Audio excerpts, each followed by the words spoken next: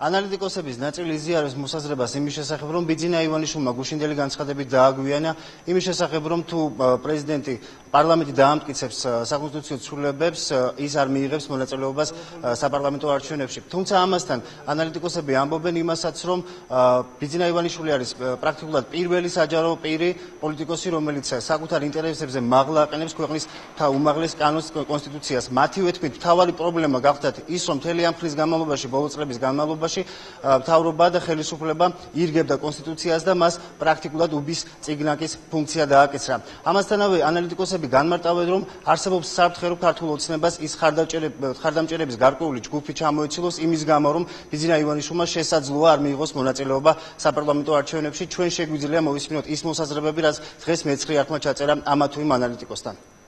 სწორედ იყო შერჩეული დრო თუ არა, დრო იყო შერჩეული ბრწყინვალეთ. ძალიან ძნელი საპოვნელია უკეთესად გაკეთებული სულა პოლიტიკაში. იმ თვალსაზრისით რომ ივანიშვილმა მორალური უპირატესობა ხომ მოიპოვა და ნუ მოპოვებული ქონდა იმიტომ რომ ადრეც აკრიტიკებდა საკონსტიტუციო ცვლილებას მაგრამ მოიპოვა პოლიტიკური უპირატესობაც.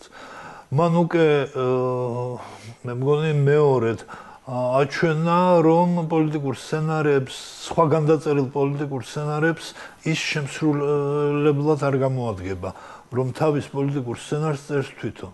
თუ ივანიშვილმა ვერ შეძლო ამ ამ თავის გადაწყვეტილების мотиваციის, რეალური мотиваციის ამომრჩევლამდე მიტანა, ეს შეიძლება იქცეს პრობლემად. აი დღევანდელი პირველი რეაქციები ამაზე მეტყოლებს, მაგრამ არჩევნებამდე საკმაოდ დროა დარჩენილი იმისათვის, რომ ივანიშვილმა თავისი ნება და თავისი мотиваცია და თავისი გადაწყვეტილებების რეალური არსი ამ მრჩევლამდე მიიტანოს. სხვათაშორის ფიქრობ, რომ დაგვიანებულიც კი იყო ეს განცხადება ერთის ხრივ, იმიტომ რომ პრინციპში კდმ-ს ინიციატივა საფრთხეს უქმნიდა სახელმწიფოებრიობას თვითონ, სახელმწიფო სუვერენიტეტს მეტიც ახლა, როდესაც საუბრობთ ჩვენ რომ მართლმა გუნდმა და პრეზიდენტმა არ უნდა შეცვალოს კონსტიტუცია თავისი ხასიათის საფუძველზე, არ უნდა მოხდეს ასევე კონსტიტუციის შეცვლილი კონსტიტუციის სარგებლობა იმ ოპოზიციური ლიდერის მხრიდან, რომელსაც პრეტენზია აქვს ხელისუფლებაში მოსვლისა და დემოკრატიული ქვეყნის მშენებლობისა.